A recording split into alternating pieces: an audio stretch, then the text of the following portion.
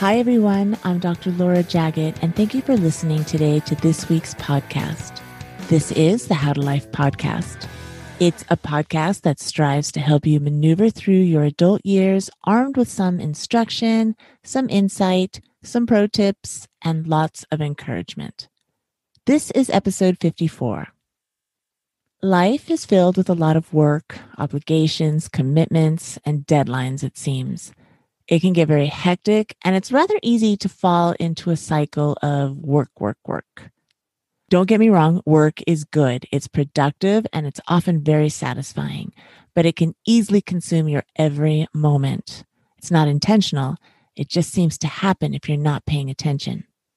And this can eventually take its toll on your family life, your social life, and even your health. It's called burnout. You've heard of it. It can happen, but it doesn't have to happen. It's so important to create a balance, to create a space for you. And this is what this episode is all about the importance of a creative outlet. A creative outlet, what's that, you might ask?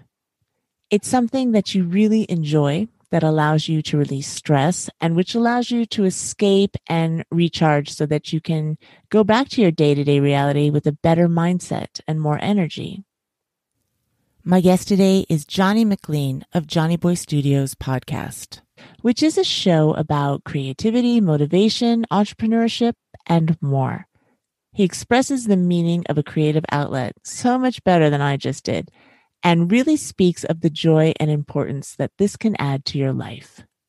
And if you're thinking, well, this episode's not for me because I don't have a creative bone in my body, hold on a second.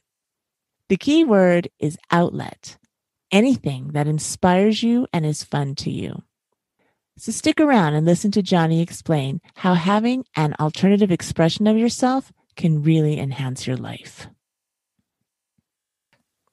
Hi, Johnny. Welcome to the How to Life podcast. Thank you so much for joining in today. Hi, Dr. Jaggett. Thank you for having me. I'm so happy to be here. I'm excited. Great. It's going to be a great topic today. We're talking a little bit about the importance of a creative outlet. I think you yes. have some experience in that, and I want to get started on that right away. But before I do that, I would like you to introduce yourself and tell us a little bit about you, what you're doing right now, and what your projects are. Yeah, my name is Johnny, and I have a very diverse kind of Willy Wonka, Forrest Gump uh, creative background to where I studied graphic design, music production, audio production, and all of those things have led me to a job I have now, my day job in a uh, famous footwear company. I work in graphic production for them and project management. But on the side, all of this creativity has led me towards photography, which I've been pursuing, and also to creating my own business where I am helping people. So it sounds like you're already a pretty creative person. And I think a lot of people might think, well, I don't have an artistic bone in my body. So therefore, yeah. I don't have a creative outlet. But creative doesn't necessarily mean creative in the artsy sense. It's anything that you find passion in or correct. or or gives you a relief or an escape from what you're doing. But before we get to that all of these things that led you to graphic design were they passions of yours? Were they fun for you? Or how were you set on that path to begin with? You know early i was always interested in graphic design and i didn't know it. So i would look at a magazine cover and you would see the letters behind their head and I always wondered how they did that. Like, did they set up these giant letters and then have someone stand in front of it and take a photo? And then just that natural curiosity led me to dive deeper into it and discover the world of graphic design. And once I discovered it and understood how layers work and understood how color works and everything that goes into making a final product, I just fell in love with it. Was photography part of that path at that time? No, photography came years later. Yeah. So, how did you find that? And was that something that maybe opened your eyes to a new creative expression or outlet? I had an interest in photography when I was more so focused on graphic design, but I never had the courage to pursue it. I didn't know where to begin. But one day I was working with someone and he had supplied me with a photo and I asked him, "Hey, do you have anything else because we need a wider shot?" And we went back and forth. He finally looks at me and goes, "Go out and take your own photo. Just do it yourself." And I took it as a challenge. And I took some photos and I showed it to him I was horrible at retouching. My angle was really bad, but it let me know that it was something that I could do and something that I could dive deeper into if I just took the time to pursue it. Did something awaken in you or something spark in you when yeah. you did that? Where did that lead you? It led me to see that some of the other things that I had studied earlier really did apply to the photography space. So knowing graphic design, I could see the shot that I needed before I ever took the picture because I knew what the end product was. This is going to be used in a print ad. This is going to be used on social media. This is a headshot. I could see the final product before I ever picked up the camera. Did it give you any relief or something to look forward to that was enjoyable just for you? Yeah, it kind of started as just for me but it was one of those things that I looked at and I said, you know, I think if I actually studied and if I actually applied myself to this, I think it's something that I could be good at. And just having that awaken in me made me want to pursue it more just for me, just because I thought I could be good at photography if I went further into it. And so I did. And as I, I went further into it, I found a community. I have a mentor now in the photography space. He's really great. I realized the more I pursued it for myself, the more I could help other people with this gift. How would you define creative outlet? What does that mean? Ooh. I think a creative outlet is a way to release something out of yourself that isn't necessarily required by someone else. It's something that is stirring deep in your own soul that is not something that anyone else is asking you for, but it's something that's asking to be released. And I think all of us have that in us. And it doesn't necessarily need to be taking pictures, it doesn't need to be painting a picture, it doesn't need to be any of that type of creative outlet. But I think all of us have something in us that we want to do, we want to pursue, we want to see come to light just for ourselves. That's a good answer. I was going to actually bring this up. A lot of people think that creative outlet is artsy, painting, photography, sculpting, right. but it doesn't necessarily have to be that. It just it's no. something that you enjoy. Yes. And you don't even have to be making something or creating something. You could be no. doing something. For me, it's playing this sport called pickleball. Yes. It's, I can't wait to get out there when I have been uh, spending a lot of time on one thing, let's say how to life, to shift gears and head into that world, it is a great relief for me. It just, it's not just about exercise or it's not even about social. It's about living. I, I feel alive. Right. You feel your power. Yes. You, you see yourself improving. And no matter what you choose to do, playing chess, doing puzzles, yeah, writing stories, gaming, even. That is an outlet. Why do you think that's important? I think because we were all called to to be more than just someone who has a nine to five and then comes home and pays bills. You know, there's more to life than just doing this kind of mundane existence. Yeah, day in, day out. Yeah, you get into that routine. Yes. So true. That has happened. Well, you know what? That happened to me. Uh, oh, it happened to me too. and yeah. anyone out there listening, perhaps you think that is you. It may sound like you. Perhaps you are young and your destiny has been determined for you, or it appears that way. And it doesn't have to be so bleak. You can pursue other things and still stay on a, a path that maybe you even feel might be a best path for you. But the creative outlet doesn't take you away from that path. In no. fact, it can enhance it in a way. Let's say you are a corporate attorney, which can be a stressful, maybe mundane job. Yeah. A creative outlet gives you energy, it clears your mind. Yes. So that it can even enhance your current job. It can enhance your relationship because you're feeling better. Not only your relationship with your partner or your children, but your relationship with you. You end up liking you better because yes. you got to experience your power doing whatever it is that is fun for you. Agreed. agree with that. You've had your own experience with that oh, too. Oh, yeah. We all have this creative energy in us. And when you release it, you show up better in the world.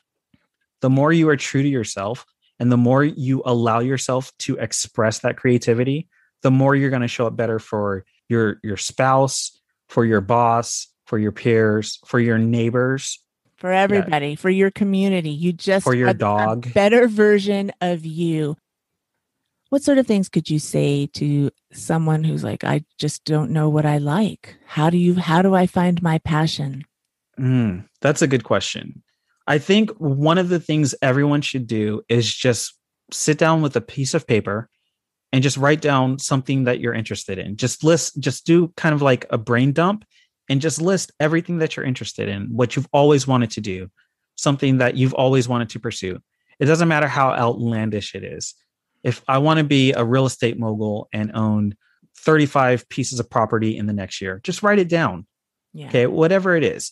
If it's you wanted to write that book or you want to be an actor and be on television, allow yourself to just dream and to envision what life could be like if, and then write down what comes after if. But mm-hmm. give yourself the permission and the space to just envision it and release whatever's inside of you. As a wise person once said, it doesn't cost anything to dream. If you don't know what your passion is, you just try different things. Right. I tried a ton of things. What sort of things have you dabbled in before you found what really inspires you?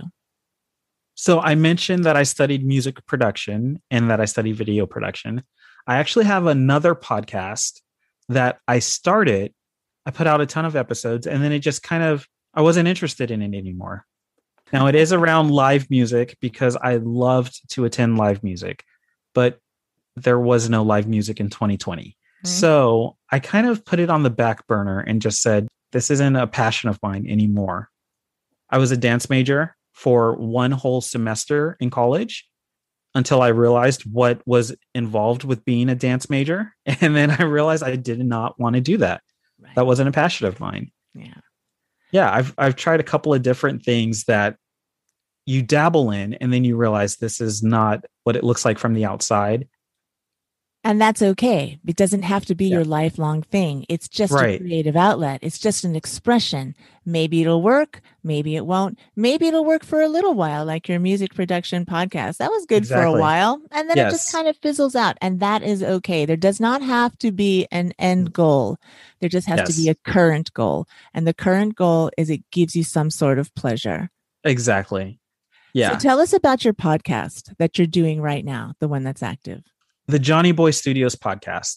So, a passion of mine currently is to build a business that will one day replace my nine to five job, that I can become 100% self employed. And so, what I'm doing on the Johnny Boy Studios podcast is I am documenting my journey. I'm sharing the tips and tricks that I have learned along the way. I'm bringing on really fun guests. I just had my first guest on, and it was phenomenal who is a model, by the way, and he dives all into talking about pursuing your own creativity. So that was a really great, great episode. I really love that one. Number 16. And the reason you're doing that is, yeah, maybe in the future you'll turn this into a career pivot, but right now it's fun for you. It's so much fun. And I am currently writing a book that I hope to put out this year. So that's cool. What is your book about? It's what to do right after you launch a business. And do you like the writing aspect as well? Is that an outlet? I do. Yeah, it's another way to express my creativity. What are you doing with your photography right now? Sorry. I mean, are you using it towards this business or is it still kind of a creative outlet and expression? Oh, I'm absolutely using it towards this business. Yeah. So photography is one of my main pursuits in the Johnny Boy Studios business. You're super creative, Johnny. You're classically artistic. And I don't want that to be intimidating to people who maybe aren't they're not geared towards that, but I still want them to find ways to find an outlet. I know someone who found stamp collecting. Yeah. Now, how is that uh, artistic or creative outlet or expression? The fact that this person can be absorbed in it, can look for it, can hunt it down. It's like a treasure hunt. That yes. is a creative expression. I know someone else who didn't want to play any type of sports, tried a little guitar, tried a little painting, nothing really clicked, not really athletic at all, but found aerial silks. Oh, she cool. Loves it. She can't wait to get out there. It works for her. It works for her. I know another couple of people, they love boxing and it's not for the workout. It's just they love feeling their power. That is also an artistic creative outlet. So it doesn't have to be art, painting, photography, guys. It could be anything that you find fun and passionate about and makes you feel good. My coach loves to collect model trains. He collects them, he builds them. He has a room in the back of his house. It's just full of model trains. Yeah, but that's his thing and that's his escape. And that's where he goes right. to sort of decompress, regain some energy, clear yeah. his mind, and then he can go back out and interact with his family, his it wife, and his nothing job. to do with his day job, nothing to do with his coaching practice. It's just his way of expressing himself and being creative. Yeah. He gets to build these awesome model trains. Everybody needs that. So if you don't have it, I really encourage you to just list it like Johnny said, list some things that you think are interesting, even if you think it's impossible for you to accomplish. And then, as I said, just go and try things. If you're yes. in high school or college, there are electives or clubs that you can try out. Just try it out. You can do that even into the adult world. There's all kinds of intramurals. Parks and recs have activities, whether it's athletics or art or music or language or travel quick trips that you can take. Go out and try things. It's extremely important for your mental health. You have to make time for yourself. So fill it with stuff that satisfies you, that enhances you. And like you said, it doesn't have to last forever. You can just try something today. If you don't like it today, try something else tomorrow. And here's one of the other side things that we can do. We touched on it a little bit. Like it doesn't have to be forever. It doesn't have to distract from whatever your job is or whatever you're doing. But if you really love it, you can pivot in the yes. direction of a side hustle, make a little money from it perhaps, or completely change careers. And that's fun too. Yeah. Having a creative outlet can definitely lead to an extra source of income or a completely new career change. Johnny, where can we find your podcast or find more information about you? If you just look for Johnny Boy, one word, J O H N N Y B O Y, just look that up in any podcast app. I should show up. And the podcast is Johnny Boy Studios. My website is johnnyboystudios.net, and there'll be more information there. Johnny, thank you very much for coming on today. I really had a fun talk and it was great bantering with you about it. Thank you so much for having me. Having a positive outlet of some sort is so important for your emotional and mental health. Oftentimes, it takes a while to allow ourselves this pleasure. I mean, it took me a while, but you don't have to wait until you have completely exhausted yourself. My wish for you is to find your creative happy outlet sooner than later. If you have found your thing, please let me know. I would love to know what's out there myself. Maybe I'll give it a try. I'd suggest you give pickleball a try. It's the fastest growing sport in America, and I can't even tell you how fun it is. I can play for three hours and not realize all the exercise I'm getting because it is that much fun. That is my personal outlet. I hope you enjoyed this interview. You can find the show notes for this show at howtolife.com slash 054. I have some other great interviews queued up and ready to go for the next few months, so I hope you will join me every Tuesday, which is the day this show goes live. Thanks for listening today and for your continued support. If you have a chance, I would love it if you would leave a five star rating or an awesome review if you're feeling really inspired. I would be very grateful for that. Thank you. I'll be here next Tuesday, and I hope you will too. I hope that you are enjoying the day and gaining some great momentum to carry you through the rest of the week. Make sure that you take care of you. Be kind to yourself, speak kindly to yourself, and make sure you have some fun because life is great and so are you. It's all good. You got this.